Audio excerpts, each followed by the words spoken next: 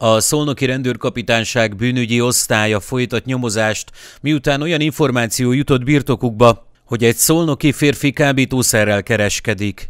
A nyomozók kutatást tartottak a feltételezettel követő lakásán, melynek eredményeként több mint 3 millió forint készpénzt, 3,796 ezred gram kábítószer gyanúját keltő anyagot, több doboz tiltott teljesítményfokozószert, és ezek mérésére, adagolására alkalmas eszközöket foglaltak le.